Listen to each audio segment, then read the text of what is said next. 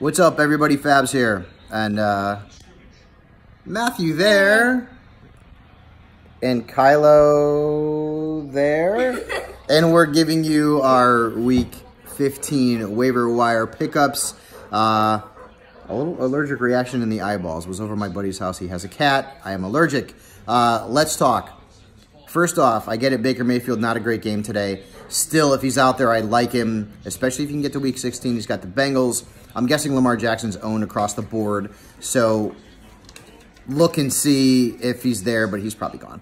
Uh, Josh Allen, I mean, the dude rushed for 100 yards again. it's like, it's crazy. Everyone thought Lamar Jackson was the running quarterback out of the 2018 rookie class. It's been Josh Allen, and heck, three games in a row, man. I mean, he's fantasy relevant, so needs to be owned across the board. Uh, running backs, Kenneth Dixon, nine touches in the game uh, for the Ravens. Worth a speculative add. Uh, Elijah McGuire with Isaiah Crowell injured. He had a good game, uh, 20 touches for the Jets, so he's worth picking up off the waiver wire. Chris Ivory, also worth an add with LeSean McCoy's injury. We should get more news on that uh, at some point during the course of the week. And Damien Williams also worth a speculative add, especially if you have Spencer Ware as a potential handcuff. Uh, Williams with 12 touches today. Let's move on to the wide receivers.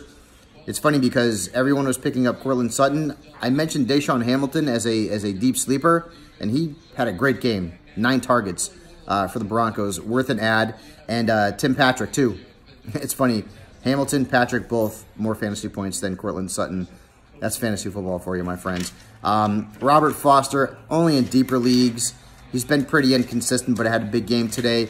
Curtis Samuel is probably gone. I've been talking about him for a couple of weeks, but he had another eight targets today. Uh, Kenny Stills, he could be out there. A lot of people probably got sick of him not producing and dropped him. Well, he had nine targets today, so Stills with Ryan Tannehill under center is starting to become a little bit more fantasy relevant. At tight end, Ian Thomas, um, 11 targets. Evan Engram had five, but he had 77 yards, and I'm not sure what's going on with Odell Beckham Jr., but Evan Engram suddenly worth an add if someone out in your league dropped him.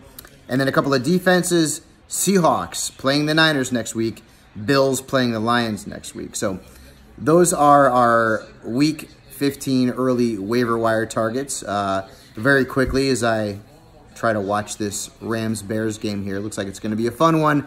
How about them Cowboys? Crazy game. Um, you know how to get that in. And Amari Cooper if you had him going this week, you got to be very, very happy, my friends. All right, that's it. Watch NFL Fantasy Live Monday through Friday, and uh, we will see you soon. Thanks, guys.